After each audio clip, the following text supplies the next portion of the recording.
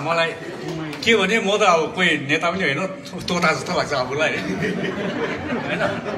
र आज अब मलाई एसके दाजुले यहाँ म अजयहरूलाई जहिले पनि धन्यवाद दिन्छु किनभने एउटा म अहिले नै भनिहालेँ है मलाई कोही पार्टी सार्टी केसँग मतलब छैन एउटा हाम्रो दार्जिलिङलाई चाहिँ माया गर्ने मान्छे म पनि हो है? अनि म स्पोर्ट्स लभर पनि हो त्यो हुँदा हुँदै पनि म चाहिँ कुलतमा लागेर चाहिँ मेरो छत्तिस वर्ष नै लथालिङ्गै भताभुङ्गै भएको मान्छे। है। त्यो मात्दा मात्दाखेरि बिहा गर्नु पनि बिर्सेको काम त पाउँदै पाइनँ।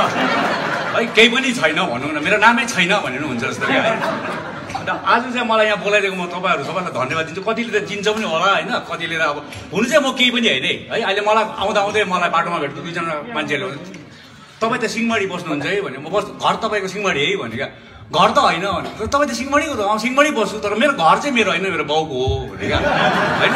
अब मैले त बनाउनु चाहिँ सकेको छुइनँ मौका पऱ्यो भने त्यो घर पनि बेचिदिने मान्छे चाहिँ हामी नै हो क्या। मथुहरूको केही हुँदैन क्या। अब अब म एउटा क्रिस्चियनको एउटा एउटा कथा भन्छु क्या मात्दाखेरिको नि है।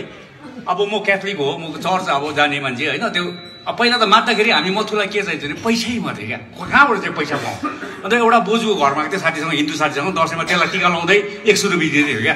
मलाई चाहिँ विश्वास लाग्यो मलाई पनि लाउनु त मन लाग्यो। मलाई मतलब बोजूको आशीर्वादसँग मतलब छैन दसैँसँग मतलब छैन खालि त्यो पैसा हेर्नु क्या।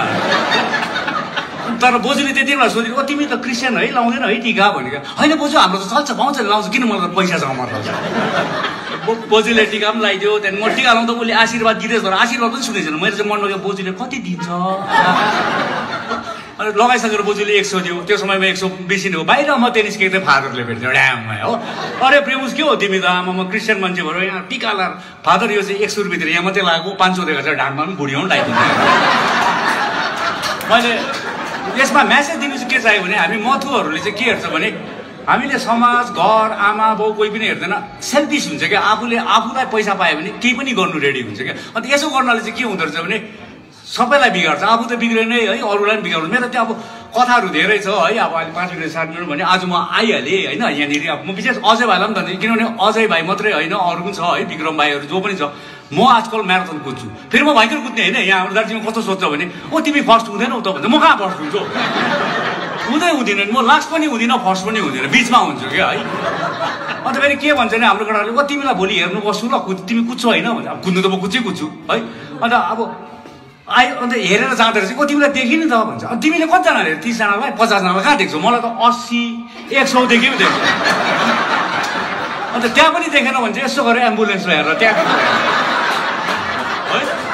र मैले के भन्दै थिएँ अजय भाइ भयो है हाम्रो विक्रम भाइ हाम्रो कर्सिङतिर पेवेन्द्र भाइहरू छ सबैजना दार्जिलिङको मान्छेहरू चाहिँ यति साह्रो राम्रो छ कि म जस्तो बुढोलाई म जस्तो मातेर बिग्रेर सुध्रेकोलाई अहिले सबैलाई थाहा छ म म्याराथन कुद्छ भने। म कुद्नु दिल्ली पनि जान्छु मुम्बई पनि गएँ कहाँ कहाँ भुटान पनि गएँ नेपाल पनि गयो इन्टरनेसनल रनर हो तर जहाँ पासपोर्ट भिसा पर्दैन क्या? त्योहरू जाँदा चाहिँ यहाँ अजय भाइले पनि मलाई जहिले पनि हेल्प गर्छ। र म जस्तो बुढोलाई हेल्प गर्छ भने कति यहाँ युथहरू होला है उनीहरू पनि राम्रो काम गर्छ भने चाहिँ म आई थिङ्क अजय भाइले जहिले पनि रेडी छ होला हेल्प गर्नु। म किनभने अजय भाइलाई आजभन्दा धेरै अगाडिदेखि नै चिनेको है सानैदेखि नै उसको अब फ्यामिली नै चिन्छु। र उसको पनि एउटा दार्जिलिङलाई माया गर्ने मान्छे हो भनेर मलाई थाहा छ क्या। अन्त हामी सबै नै यहाँनिर जति पनि छ दार्जिलिङ माया गर्ने नै होला। है अन्त आज म्यासेज दिनु मलाई बोलाएको कारण चाहिँ त्यही हुन्छ यो ड्रग्स र एल्कोहल चाहिँ नखाइदिनु। म त यस्तो भएको थिएँ कि रक्सी खाँदाखेरि। नामै कतै भइदिएको थियो क्या अब। पैसा त हुँदैन। बिहानै आमाको या बहिनीको चोरेर जान्थेँ। है दस रुपियाँ लगेर गरेर माग्थेँ क्या रक्सी दोकानमा। अब त्यो सट्टै पारे त्यो जा भनिहाल्छ खेदिहाल्छ। खाँदिन्थेँ क्या। कतै कोही आउँछ। कोही आयो नि दा खाने भने आफ्नो चाहिँ सट्टै पऱ्यो भने त्यसले किनेर राख्छ कतै कोही आउँछ कि? नामै कतै भइसक्यो क्या। हालत खराब हुन्छ है आज म आफूलाई हेर्छु है। आज मेरो रिकभरी भएको बेसी पनि भएको छैन। ओन्ली से सेभेन इयर्स पनि भएको छैन क्या है। म त एकाउन्न वर्षदेखि छोडेको। अरूले त्यति गरी खानु सुरु गर्छ होला म धेरै छोडेको र पनि मेरो म्यासेज के भने एकाउन्न वर्षमा छोड्दा पनि मलाई कति मजा आइरहेको छ। आजको दिनमा मलाई भन्दा मेरो घरको मान्छे खुसी भयो हुनु त हो मैले गर्नु केही पनि सकेको छुइनँ म कोही भयङ्कर पनि हुनु सकेको छुइनँ मैले न घरकोलाई उल्टा घरकोलाई त दुःखै हो। उनीहरूले पकाएको खानु कसलाई त म रोटीहरू खाँदा रोटीले पनि चिस्काएको छ उफ्रिन्छ तँ मलाई किन खाएकै भनेर। तर अब म झुन्डेर मर्नु पनि सक्दिनँ म है। त्यो कतिले ल्यापेक्सहरू छन् त्यहाँनिर मैले भनिदिएको छु झुन्डी त के भएको भन्ने कुरोहरू है। अन्त आजको दिनमा आज यहाँनिर आएर आफूलाई यसरी बोल्नु पाउँदा आफूलाई के लाग्छ भने it is a recover gift. आज नमात्नाले त मलाई यहाँ बोलाएर आज मातेको भए त अझै भाइले पनि मलाई परबाट खेपिदिन्थ्यो। यसको त जसले मलाई कहाँ बोलाउँथ्यो है। तर नमात्नाले चाहिँ धेरै कुरो नै फाइदा हुन्छ क्या। अन्त एउटा युथ सुध्रियो भने मलाई चाहिँ के लाग्छ भने युथ सुध्रियो आफूलाई त शान्ति हुन्छ हुन्छ उसको घरलाई पनि हुन्छ प्लस समाज त्यहाँदेखि देश सबै कुरो नै सुध्रेर जान्छ क्या है। आज म यति म्यासेज दिनु चाहन्छु कि युथहरूलाई है नखाऊ फुटबल खेल गेम खेल फेरि हाम्रो समाज कस्तो हुन्थ्यो नि? हामी बिग्रेको कारण चाहिँ नि। हामी चाहिँ रक स्टार हुनुपर्छ क्या। Mick Jagger Steve Vai guitar क्या। ड्रग्स खायो कि भयङ्कर लाग्यो हामी क्या? केस लामो लामो है। चौरा उनीहरू पो हात ठुलो लम्बु मान्छे किनभने स्टेजमा ट्याप्पै परेर बाहिर लाउँदै सुहाएको क्या। अब म जस्तो मातेर खानु राम्रो छैन सुत्नु राम्रो छैन। नुहाएको छुइनँ केस बनाएर केस लामो हो। यो पनि खप खप पऱ्यो क्या। परबाट त सुशीला गर्दै आउँदै गरिन्छ होइन? अन्त अब अन्त आफूलाई चाहिँ के लाग्छ म रक स्टारै हो। अहिले मैले एनालाइज गरेर यसो बुझ्दाखेरि चाहिँ उनीहरूको अर्को मान्छे हात पनि ठुल्ठुलो गिटार बजाउनु सुहाएको क्या है? मैले गिटार बजाउनु गिटार ढोकेर फेरि मै गाजा खाएर फिला सुकेको मैले नै फेरि ट्याप्पै परेको प्यान्ट क्या। टाइम पनि भयो कि म कुनै फेरि आउँला फेरि पनि एकपल्ट है अझै भाइलाई म धेरै धेरै धन्यवाद मलाई त के हो के कसो हो के पनि थाहा थिएन है एसके भाइले बनाइदियो तिमी आउ कि नआउ आउ कि नआउ भन्दै आएको क्या हो है आउ कि नआउ तर आएँ राम्रै लाग्यो खुसी लाग्यो तपाईँहरूको अगाडि अब म पनि बोल्नु पाएँ है र अझै भाइलाई फेरि एकपल्ट धेरै धेरै धन्यवाद एसके एसके दाजुलाई पनि धेरै धन्यवाद है र मेरो फेरि पनि एकपल्ट युथहरूलाई चाहिँ नखाउ पनि भन्दिनँ म किनभने रक्सी जाडहरू चाहिँ खानु हुन्छ जस्तो लाग्छ किन हाम्रो जहाँ पनि मेरो बाउले खान्थ्यो दुई पेक खाएर टक्का राखिदिन्थ्यो क्या म चाहिँ खाएँ म चाहिँ खाएको अब क्रिसमसमा नि। अब यति अलिकति भाइ है अन्त है अन्तखेरि म अब क्रिसमस क्यारल खेल्दै गएको एउटा घर अर्को घर तिन घरमा जाँदा चाहिँ जहाँ भएर लडिदिएछु क्या। अब भुइँमा लडेको। अब म बिमारी यो खानुमा चाहिँ बिमारी भन्दो रहेछ नि त होइन। अब म पनि अब रिया बसेर थाहा पाएको। कस्तो बिमारी रहेछ भने नि हामी लडेँ नि अब। मलाई कुनै कसले कानमा आएर भनेको सुनेको ओदा गएर राम्रो रहेछ त भनेको छु लगाएर सुतिरहनु के खान्न? भन्नु नि अब हात खुट्टा चल। यसो गरेर उकालो फर्केर मुख मात्रै आएर हाल्दैन त्यसलाई चाहिँ बिमारी भन्दो रहेछ नि त लोभ क्या लोभ है है अब यो अब यो म घरिघरि भन्छु क्या? म अब रियापमा पसेँ है। अब हाम्रो केटाहरूले यति साह्रो जिस्काउँछ कि दार्जिलिङमा त भन्दैछु।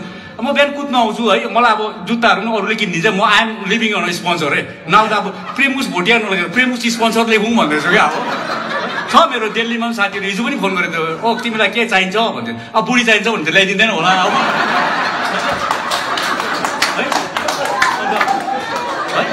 हाम्रोहरू चाहिँ जिस्काउँछ कि है म बिहान कुद्न आउँछु सबैले चियाहरू पनि अरूले किनिदिन्छ सिधै गरेर साह्रै भोक लाग्नु अझै घरमा आएर रोटी पनि तोस रोटी पनि चेपेर पनि जान्छु। होइन छैन अन्त एक दिन चाहिँ मलाई गरम भएर मेरोमा पनि दस रुपियाँ कि बिस रुपियाँ चाहिँ थियो क्या। उहाँनिर आएर आइसक्रिम किनेर उकालो खाँदै थिएँ। ओ कसले किनिदिएको भने मैले किनेको नि नभन न क्या अन्त यस्तो छ क्या है। अब यही घडी हो मेरो रियाप पर्छ रियाप पर्नु अगाडि चाहिँ मेरो त्यो दुईजना भाइहरू चाहिँ साथीहरू थियो क्या। त्यहाँ जहिले पनि मलाई क्या। ओ दा कति बज्यो भन्थ्यो कि अब घडी त हुन्थेन। ला भाइ घडी चाहिँ भएको त खायो होला। हो? अन्त कृपाबाट निस्केर चाहिँ अब रियाबाट निस्केर चाहिँ बहिनीले मलाई यो घडी किनिदिएको थियो। यो ठुलो पनि छ क्या है। अन्त यो लगाएर आउँदै थियो कि त्यो एउटा हाल्दै थियो आज चाहिँ म यिनीहरूलाई देखाउँछु मेरो घडी होइन? अन्त घडी देखाउनु चाहिँ हलो ब्र भन्थ्यो सुरु लिएको थियो।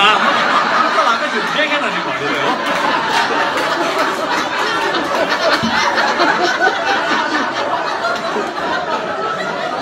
र है के भन्नु अब है अब बोल्यो भने त अब भन्छ नि म्याराथन कुद्ने मान्छे बोलेको बोलेकै गर्छु जे गर्छु बेसी नै गर्छु क्या माग्छु नै बेसी नै अन्त आजको दिनमा म फेरि एकपल्ट युथहरू यहाँ छ भने या आमा बाउलाई पनि भन्छु अलिकति नानीहरूलाई बुझि पनि दिनुहोस् किन हाम्रो चाहिँ कस्तो हुन्छ भने फेरि रियाबाट निस्किने बित्तिकै एक्सपेक्टेसन आयो क्या तँ गरिहाल काम पैसा कमाइहाल अब कहाँबाट चाहिँ ल्याउनु पैसा त्योहरू बुझिदिनुपर्छ क्या धेरै चाहिँ ग्याप मैले देख्नुमा चाहिँ अब मेरो एक्सपिरियन्स हुनु त आफ्नो आफ्नो हो है?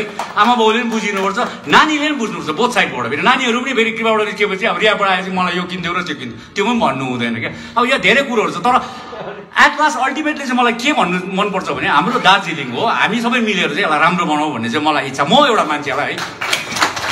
हुनु अब मैले नै छत्तिस वर्ष बिगारेँ होला। आज यो बोल्नु पनि सुहाउनु त सुहाउँछ कि सुहाउँदैन है? म पनि मातेर नै हिँडिरहेको होइन? तर आज मैले बुझ्दाखेरि चाहिँ अब म जस्तो धेरै युथहरू छ खायो भने नि खायो खायो। एक्सेप्ट इट खायो त खायो बिगारेर म त खाएँ भनिदिन्छु खायो मैले खाएँ माथि मजा पनि आयो तर इन्डमा गएर चाहिँ मजा केही पनि छैन चाहिँ त्यो चाहिँ मैले भोगेँ र म चाहिँ भन्नु चाहन्छु है? केही पनि पाइनँ नि त। लास्टमा गएर मैले रिलेसनसिप पनि बिगारेँ सबै कुरै बिगारेँ। तर अब आइएम लक्की होइन? म जस्तो लक्की सबै नहोला। तर अब म लक्की भएँ आज म कुद्दैछु कुद्नु पनि सक्छु फेरि। कति त छक्कै पर्छ क्या अब। यस्तो ड्रग एडिक हो भन्छ फेरि म्याराथन नै कुद्छ। भन्छ क्या अब अचम्म मान्छ क्या। तर मेरो एउटा के थियो भने आइएम स्पोर्ट्स लभर भनेर अघि नै भने नि है म ग्राउन्ड जान्थेँ जान्थेँ क्या। किनभने म एउटा सिंहमारीको केटा पनि हो नजिक पनि छु क्या है। अन्त म ग्राउन्ड जान्थेँ जान्थेँ म खेल्थेँ खेल्थेँ क्या फुटबल। नामै त अब मेरो त के थियो भने नि reserve player of the year क्या।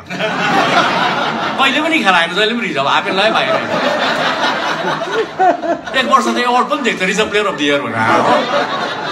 र है बेसी नभने अरू पनि बोल्ने होला म फेरि पनि कुनै बेला मौका पाएन आउला अझै बेला धन्यवाद। जति पनि जेएनएलएफको जति पनि छ तपाईँहरू जति पनि छ मलाई यसरी इज्जत दिएकोमा म आफूलाई मजा लाग्छ है खुसी लाग्छ।